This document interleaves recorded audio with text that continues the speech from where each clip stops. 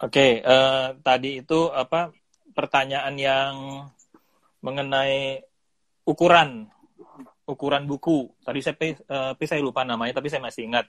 Ukuran buku itu sebaiknya berapa sih kalau untuk membuat buku foto gitu? Monggo. Enggak, ukuran buku itu adalah ciri khas Anda, ciri khas uh, kemauan sebuah foto. Ada foto yang on landscape semua tipis, bisa juga dibikin tipis ya. Jadi itu uh, terserah pilihan. Tetapi untuk buku-buku yang akan terbit berikutnya lagi, sebagai ukurannya sama semua. Ini buku batik, kalau Anda lihat buku batik ini, uh, yang saya tunjukkan tadi ini, dari jari 1 sampai jari 5, ukurannya persis sama, sehingga kalau diatur di rak buku tuh cantik gitu loh. Itu uh, penting ya, cantik. Seperti uh, novel-novel nah, Agatha Christie yang, ya, kita sama juga semua ya. sama ya. Ya, jadi kalau ditaruh di rak buku tuh enak liatnya gitu kan. Sama. Itu uh, sangat ini ya, kalau saya di 20 21 kali 21 cm.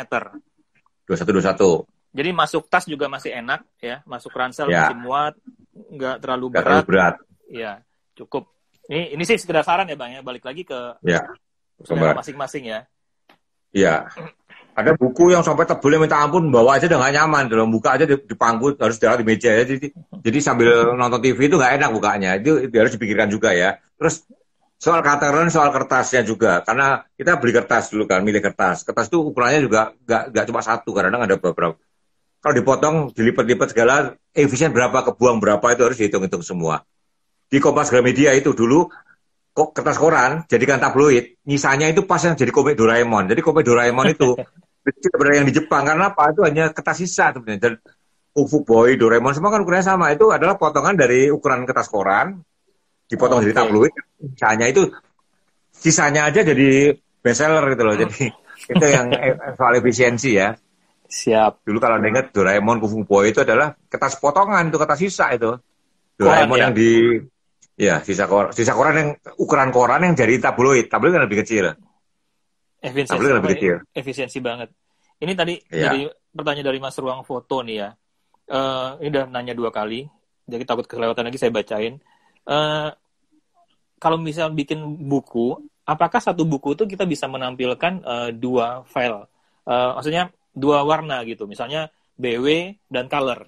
Bag bagusnya bagaimana bang? Kayak gitu. Saya juga pernah bikin waktu buku komodo pertama, terus diomelin sama Gato, gitu kan ya. Uh, nah, menurut abang sendiri gimana? Boleh nggak sih? Atau uh, apa? Pantas nggak sih? Saya pernah bikin buku sendiri komodo, yeah. terus saya tampilkan foto orang-orangnya BW gitu ya, karena ego sendiri dulu ya tapi dikritik tajam sama Gatwe gitu kan. Nah, menurut Abang gimana? Sebaiknya. Kembali ke masalah anu gini, nggak ada larangan. Ada gini, ada namanya pakem, ya, ada namanya pakem biasanya, ya, biasanya, biasanya, biasanya, biasanya. Kalau orang tuh semuanya hidup terus biasanya, dunia ini nggak maju. Harus ada orang yang berani melawan biasanya itu, sehingga ada kemajuan ya. Awal-awal fotografi ditemukan itu nggak boleh backlight, ya nggak? Tapi yeah. begitu ada yang orang nyebut backlight dan keren, foto backlight kadang keren kan? Foto backlight malah jadi lebih menarik. Sama dengan bikin buku. Uh, bagusnya kolor kolor aja hitam putih hitam putih aja. Why not digabung? Cuma asalnya kembali ke adalah coba Anda pikiran terbuka, Anda buka-buka, Anda rasakan di daminya ya. Habis kolor, habis kuning, tiba-tiba hitam putih, terus merah, hitam putih lagi. Enak nggak? Kalau Anda merasa enak, go on. Go on. Kalau Anda nyeleneh, orang suka, Anda akan dibilang bikin tren. Anda jangan orang nggak suka ya lain kali jangan gitu aja, simple kan. Intinya yeah. adalah uh, dunia ini memang menarik karena nggak ada rumus.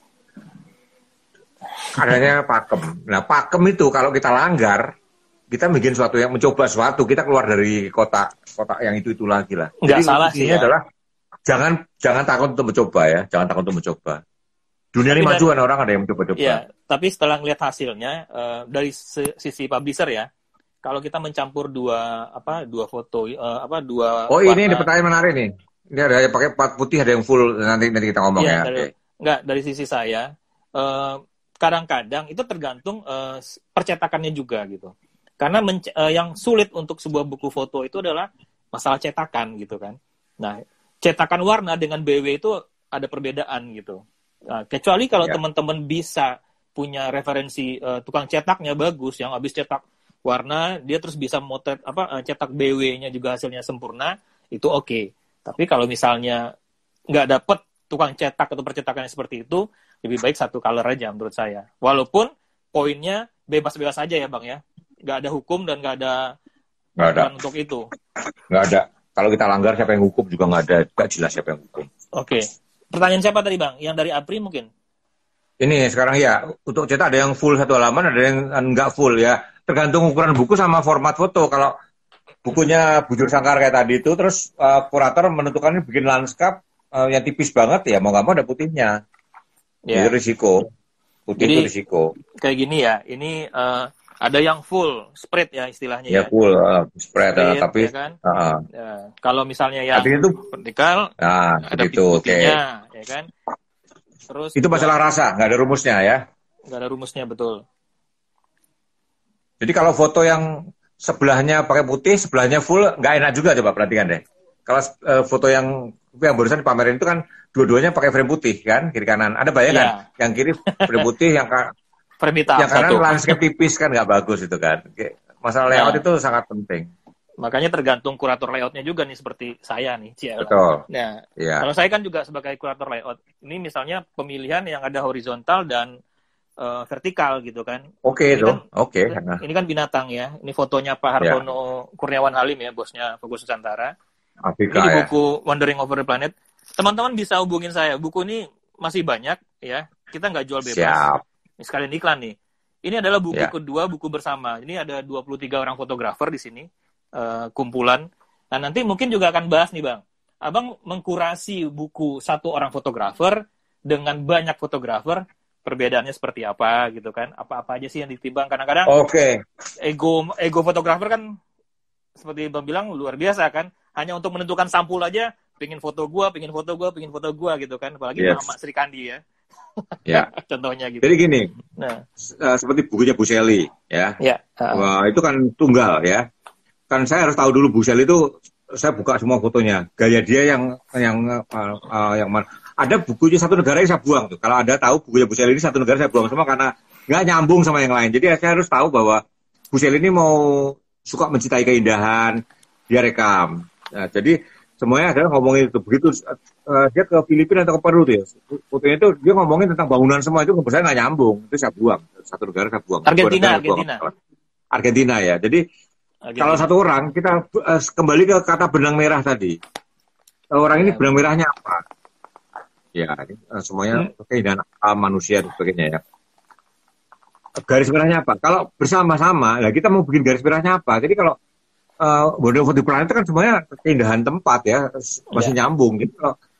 Ada lima fotografer mau bikin buku bareng. Ya mau bikin buku bareng. Satunya anu foto-foto Jubanin interest semua. Satu anu satunya landscape semua. Bisa aja babnya kita pisahin gitu loh. Jadi si A katakanlah mayoritas foto human interest ya nanti bab human interest di bab itu ada foto si A ada foto B ada foto si C gitu loh.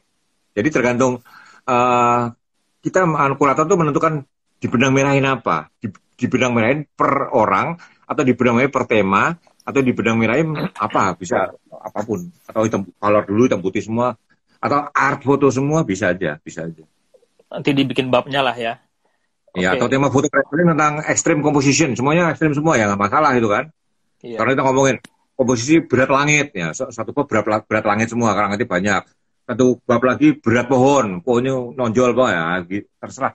Akhirnya semua kembali ke tema. Jadi sebuah buku itu, jadi uh, orang bisa bilang buku ini tentang apa gitu Uh, tentang Jakarta, buku ini tentang komposisi ekstrem dalam traveling fotografi misalkan itu bisa aja sah-sah aja. Oke, Bang, ini ada pertanyaan bagus dari Sambodo ya. E, bagaimana memisahkan idealisme kurator supaya hasil akhir buku tidak menjadi atau mencerminkan idealisme pribadi kurator dibanding idealisme konsep berpikir fotografernya. Nah, ini diskusi lah paling ya. Coba Bang, silakan. Gini ya, kurator kurator nggak boleh punya ego ya. Jadi gini, kurator justru menggali ego si orang yang mau pameran atau orang yang bikin buku. Kurator itu adalah jadi hakim, ya hakim. Semua pengalaman dia, semua kalian dia itu hanya menjadi background. Background itu antara lain salah satu membuat dia dipilih. Tetapi okay. dalam dalam jadinya buku itu harus personal si fotografernya yang muncul, bukan uh, gaya si kurator, bukan. Hmm. Kalau orang yang selama ini orang nggak kenal gayanya si A, tiba-tiba di buku itu jadi kuat sekali, ya kuratornya bagus, bisa menemukan dengan style yang kuat gitu loh. Jadi ingat dalam sebuah buku yang di anu pameran atau buku, gaya kurator tidak boleh kelihatan. Artinya kurator kalau sampai kelihatan kurator itu memaksa. maksa banget itu loh. Tetap harus mencerminkan Tapi gayanya si fotografer ya. Iya, bisa mengangkat gaya dengan croppingnya, entah dengan pemilihan apa, atau anunya, lurin apanya, dan sebagainya sama seperti itu. Okay. Justru di situ uh, tugas kurator. Ego kurator nggak boleh keluar. Kalau kurator itu senangannya dia suka sekali foto-foto BW. Oh, semua di BW sama kurator nggak boleh, ya. Nggak bisa, nggak bisa. Itu sudah di luar kewenangan seorang kurator. Itu ya, Mas Ambodo ya. Ini pertanyaan, oh ini pertanyaannya nih ke saya kayaknya nih. Estimasi biaya bikin buku itu berapa ya? Dan berapa eksemplar minimal? Nah, kalau estimasinya gini, uh, semakin banyak teman-teman uh, cetak, karena yang mahal itu biaya ongkos cetak, semakin sedikit semakin mahal sekali gitu. Nah, kalau uh, faktor-faktor biaya sebuah pembuatan sebuah buku ya cuman biaya kurator sama publisher. Langsung Saya angka aja, iya mungkin langsung ya. angka aja mungkin seperti bukunya Bu Sally kalau bikin seribu berapa, lima ratus berapa, seratus berapa kira-kira ya. mungkin to the point kalau, itu. Nih, uh, saya lupa. Kemarin untuk 300 buku ya Bu Sel itu uh, mengeluarkan sekitar 50 juta ya jadi cetak 300 buku eh sorry uh, eh, 500 buku kalau nggak salah 500 buku sekitar 55 juta ya itu udah termasuk biaya kurasi biaya publisher segala macam nah tapi seandainya kalau misalnya Bu Seli nyetak 1000 buku kalau mencetak 1000 buku tuh biayanya cuman eh, nggak uh, nyampe 100 juta cuman sekitar 80 sampai 90 juta kurang lebih. Jadi sangat besar sekali uh, perbedaannya.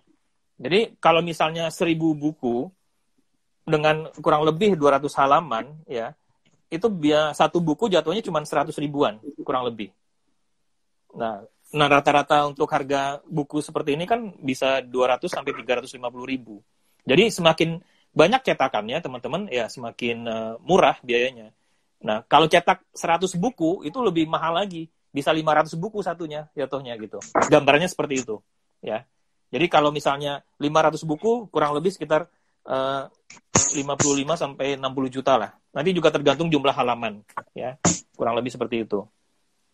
Uh, terus uh, ada dari Malimaf tuh, saya Wah, ini agak berbeda ya.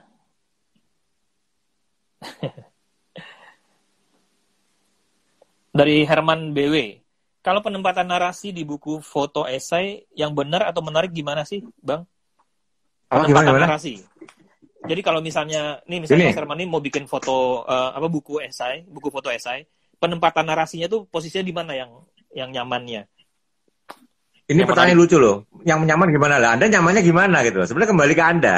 Menurut Anda nyamannya gimana? Yang menarik. Menarik. Menariknya tuh tergantung ya. siapa?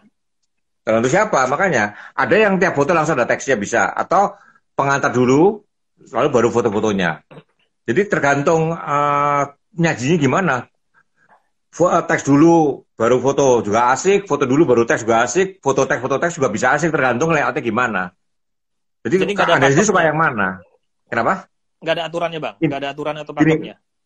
Enggak, nggak ada pakemnya. Jadi kalau di Kompas itu, esai foto itu uh, teksnya dulu, uh, sekitar uh, eh, 2000 karakter ya. Terus sisanya foto 5 sampai 8 foto gitu. Intinya adalah teks itu adalah memberi sisi naratif, foto memberi sisi visual. Ingat, jangan campur adukan ya. Mana yang memang kan, kalau bisa nggak usah ditulis teksnya lagi, bisa di visual ya udah nggak usah pakai teks lagi. Itu seninya uh, esai foto. Yang okay. udah kelihatan udah kelihatan gambar kelihatan itu uh, suku A lagi berburu ya usahakan nganu orang bisa tahu infonya dari visual. Visual sama teks dua hal yang berbeda ya. Ada hal yang nggak bisa difoto, ada hal yang nggak bisa dipotret. Eh, ada nggak bisa difoto, ada hal yang nggak bisa ditulis, kira-kira gitu. Wajah nggak bisa ditulis, kondisi nggak bisa ditulis, keindahan segala itu ditulis susah ya. Tetapi ada hal yang nggak bisa difoto, yaitu misalkan uh, kondisi yang uh, mengandung angka ya, rupiah menguat gimana fotonya gitu kan. Ada yang seperti ya. ini ya, contohnya ya. Ya, Ini buku kiri satu. Saya itu. beli di New Zealand ya Ya, ada yang seperti ini narasinya di sini, tapi ada juga uh, yang foto dulu ya bang ya semuanya, terus di belakang dikasih narasi gitu ya. ya. Jadi ya, itu balik lagi itu... ke ke kitanya ya bang ya. Gayanya gimana? Kalau fotonya sudah cerita sekali orang biar biar lihat foto dulu terpesona dulu, terus baru oh tentang itu bisa jadi begitu. Jadi nggak okay. bisa dibikin general karena tergantung flow-nya kayak apa, terus fotonya tentang apa, misalkan kita ngomongin katakanlah perburuan uh, makhluk halus. Kan. Uh, perburuan tentang satwa langka apa gitu ya. Uh, di ada pengantar dulu bahwa satwa ini sudah tinggal sedikit-sedikit itu terus orang melengkapi gambarnya.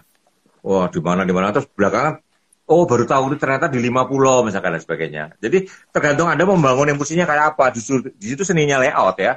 Layout itu seninya adalah hmm. uh, nggak cuma enak dilihat tapi enak dirasakan. Itu yang yang lebih penting lagi enak dirasakan di koran pun juga sama. Seperti makanya kalau misalkan saya foto waktu saya dapat di Kompas, eh, saya foto itu tiap foto harus punya dua formatnya. Setiap adegan. Tiap adegan kalau bisa punya long shotnya, punya video, punya close upnya. Jadi oh, yang ini bagusnya long shot ini habis habis close up close up terus ini punya nggak yang ini long shotnya? Fotografernya harus bisa supply. Jadi uh, Oke. Okay. Layout itu masalah rasa juga nggak semata-mata ke, ke, keindahan visual, enggak. Masalah keindahan saat, saat dirasakan flow-nya dan sebagainya gitu. Oke. Nah, uh, ini pertanyaan dari Herman lagi. Untuk buku foto, uh, masalah deskripsi itu berapa persen sih kira-kira untuk deskripsi? Nggak, nggak bisa juga. Dalam, kalau di koran, sebuah foto jurnalistik yang kuat itu teksnya kalau perlu sesingkat mungkin. Foto plus teks jadi 5W 1H. Ada yang nggak bisa difoto, nama orang, nama tempat, sama tanggal ya. Jadi kalau sebuah foto yeah. itu udah komplit banget, teksnya itu paling hanya di mana, siapa, dia, sama kapan itu terjadi gitu loh. Jadi teks seberapa panjang, kalau bisa sesingkat mungkin kalau ngomongin buku foto ya. ya. Teks itu hanya hal yang nggak bisa digambarkan oleh foto, tambahin di teks. Jadi orang bisa biar menikmati foto. Tapi kalau novel, foto itu kadang-kadang hanya oh, kayak apa sih orangnya yang ingin tahu tuh. Orang menikmati kata-katanya gitu loh. Okay. Kayak, kayak komik, komik itu kan kata-katanya sedikit sekali. Kalau memang harus ada kata-kata gitu. Jadi uh, berapa panjang kata-katanya. Kalau Anda bisa sesingkat mungkin, ya Anda main fotonya dengan kuat. Kalau perlu teksnya nggak ada sama sekali pun bisa, tapi nggak mungkin teks sama sekali nggak ada karena ada beberapa hal nggak bisa difoto ya tuh kan seperti nama tempat, nama orang, tanggal dan house segala itu kan nggak mungkin dalam bentuk dalam bentuk uh, visual. Ada yang verbal, ada yang visual. Nah, kalau kamu ngomongin buku foto, verbalnya sesingkat mungkin. Oke. Okay. Nah, ini dari Iman ya. Pertanyaan dari Mas Iman, kualitas sebuah buku foto terlihat dari sisi mana? Dari garis merah sebuah buku foto tersebut atau gimana? Jadi dia menanyakan uh, kualitas kekuatan dari sebuah ya. buku foto, ya. Ya, kalau buku foto itu kadang foto traveling, semua uh, traveling sampai orang uh, kepingin ke tempat itu, itu fotonya sukses, buku-buku traveling ya kalau buku personal, orang pamer bahwa dia pernah ke mana-mana, orang lihat, wah bagus-bagus semua, itu juga sukses. Jadi makanya tergantung goalnya, buku ini mau ngomongin apa. Kalau buku ini dibikin oleh Pemda Samarinda katakanlah tentang keindahan Kalimantan Timur misalkan ya, ya sampai di buku itu terasa Kalimantan Timur itu begitu indah, buku itu sukses. Sukses. Jadi ingat, ya. goal itu harus harus, harus jadi anu apa pegangan utama kurator. Goalnya apa? Goalnya apa? Goal ini adalah cuma saya mau menampung semua karya-karya fotografer dari provinsi ini ya itu usahanya lain. Bahwa semua fotografer terwakili uh, kelihatan bahwa banyak fotografer dari provinsi itu dan karyanya lumayan semua itu goalnya sampai. Jadi sekali lagi kembali ke goal. Goalnya tentang apa? Ngomongin keindahan wilayah itu, ngomongin tentang banyaknya fotografer kami yang uh, skillnya tinggi. Jadi semuanya pamer high skill semua, high speed, wow pamer-pamer aneh ya bisa. Jadi goalnya apa? Kalau oh, goalnya tercapai dong, Foto bagus adalah foto yang sesuai dengan target pembuatannya. Targetnya apa? Foto menu. Targetnya adalah kelihatan enak, ya kan? Foto menu. Orang jadi lomba foto menu. Foto itu ya, lihat buku itu. Lomba foto menu. Waktu itu uh, siapa ya? Ulang tahun lomba foto lemper, lemper. Wah, pakai lighting. Wah, lempernya jadi kayak pelangi. Keren dari sisi lighting, tapi dari sisi foto food gagal, ya kan? Hmm. Jadi bagus itu tergantung targetnya apa. Mau target lemper dengan warna-warna yang aneh-aneh gitu. Kalau untuk kategori fashion, wah menang. Tapi untuk kategori foto food, jelek. Siapa kepengen makan lemper warna ungu gitu loh. Oke. Ini ada pertanyaan lagi, apakah kurator juga menyarankan melakukan editing untuk beberapa atau sebagian atau seluruh foto yang dipilih? Menyarankan editing. Kalau saya kurator hampir semua saya edit. Saya crop. Pastilah ya. iya.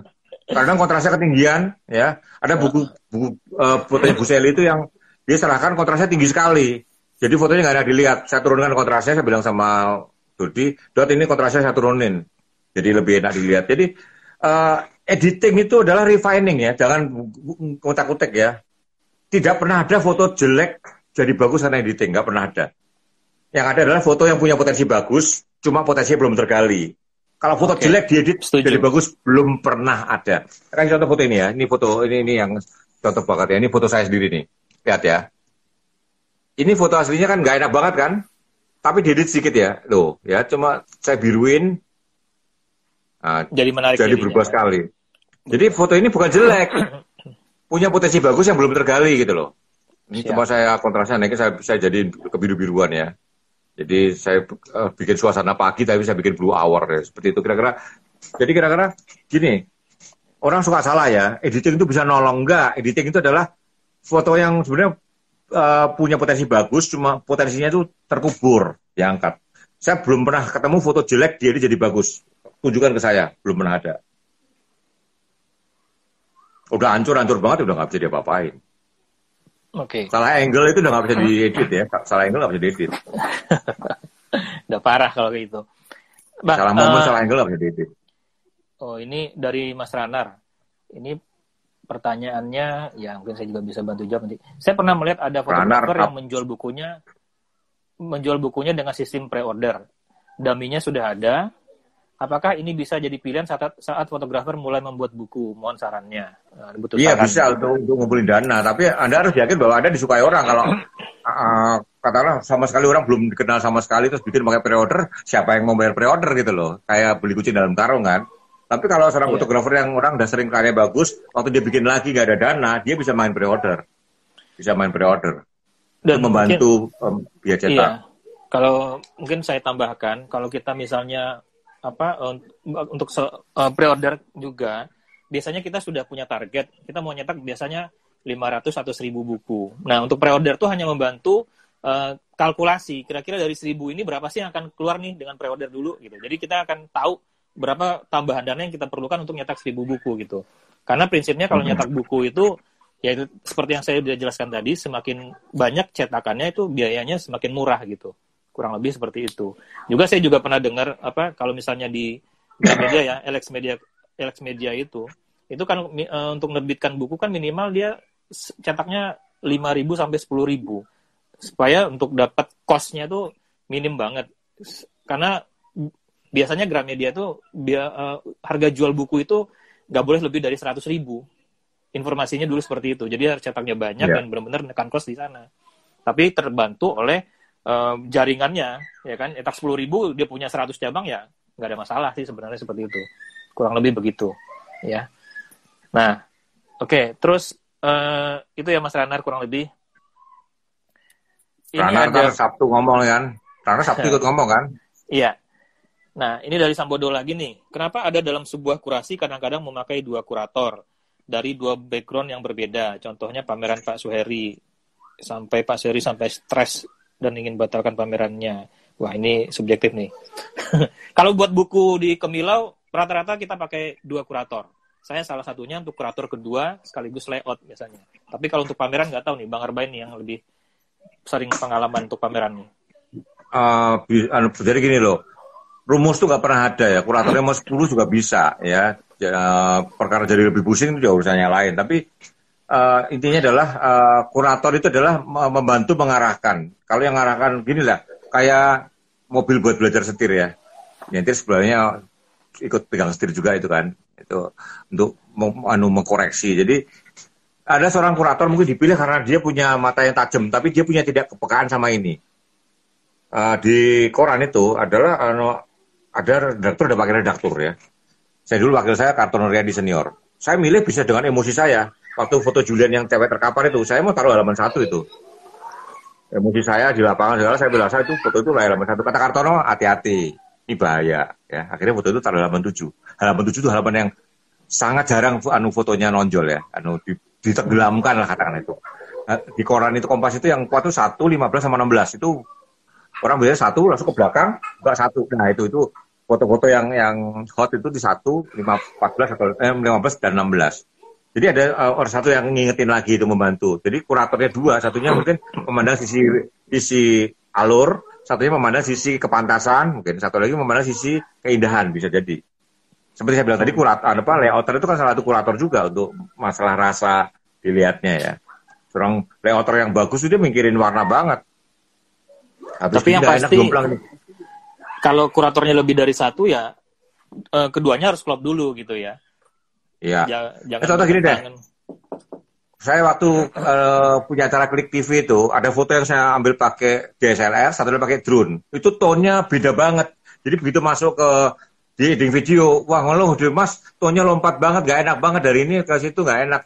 Harus di mata saya nggak, saya nggak terbiasa itu, saya masa nggak masalah, jangan mas, gak enak gitu loh. Jadi akhirnya yang yang video dari drone itu di uh, lain kali pas uh, kontrasnya turunin gini gini di, di arahin gimana supaya nyambung sama DSLR-nya. Itu itu masalah mereka berpengalaman di video.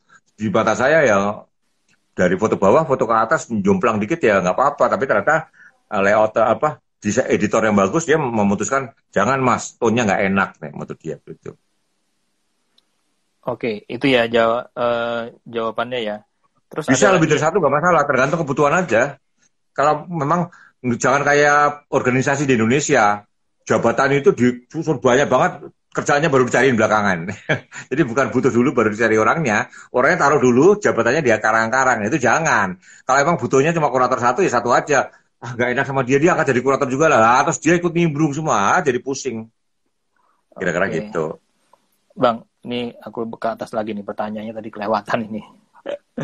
sebentar nah oh ini pertanyaannya sebenarnya udah kita bahas juga waktu pertemuan Kamis yang pertama dulu dua minggu lalu kalau ada hmm. orang atau uh, human interest trade dalam sebuah buku foto ya kan apakah diperlukan model rilis uh, dianggap komersial. Jadi misalnya kita bikin buku foto nih, buku foto kita tentang street. Tentu street namanya street, ada orang yang difoto di jalanan, ya kan? Itu masuk ke dalam buku kita. Sedangkan buku kita buat komersial nih tujuannya. Apakah perlu model rilis dari orang yang terkena foto tersebut? Dulu kan udah jelaskan, ya sekarang mau dijelaskan lagi deh bang. Gini, kalau untuk news, Anda tidak perlu minta izin siapa pun ya. News, koran, majalah, ya news ya. Kalau orang itu protes malah jawabannya adalah serah sendiri lu di situ gitu loh. Ya jawabannya gitu ya.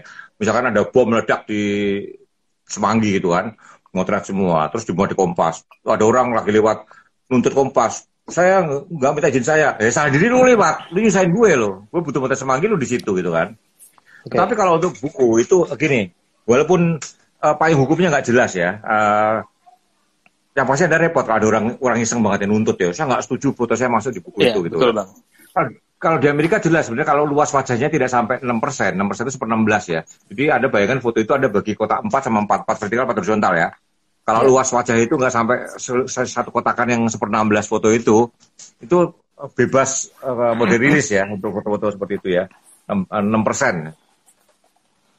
Ya, Pasti pertanyaannya uh, seperti ini gitu kan. Nah, kalau kita traveling, kita saat katakanlah ke mana ke mana terus orang itu memang untuk turis gitu anda nggak usah anda nggak usah nggak usah nggak minta rilis dia kayak ada seperti festival Wamena segala ya festival ya, uh, Lebah Bali kalau itu memang untuk dipotret ya kalau ada buku anda ada hubungannya sama pariwisata nggak usah kalau anda bikin cover CD tulisannya lain gitu tapi kalau ada buku bukunya anda itu buku fotografi tentang perjalanan anda atau anda tentang ngomongin tentang indahnya Indonesia nggak usah itu memang nyambung sama waktu anda motret kan tetapi kalau Anda bikin kalender perusahaan Anda, itu orang itu dipakai kalender, kalender PT Astra, PT besar-besar, ya itu bisa jadi masalah ya.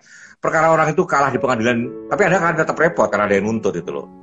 Intinya adalah kalau buku Anda memang buku foto kayak uh, catatan perjalanan Anda itu saya kira nggak terlalu komersial.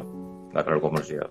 Ya saya lagi mikir juga sih, apa seorang Steve gitu kan, dia apakah uh, bayar semua model rilisnya karena buku fotonya itu kan kalau nih kayak misalnya Steve ikonik fotograf ini ini hampir semua kan potret semua nih bang iya. apakah dia minta apa model rilis uh, semua gitu tapi kalau dan karena buku ini kan juga komersil ya dalam artian apa uh, untuk di diperjualbelikan umum gitu loh.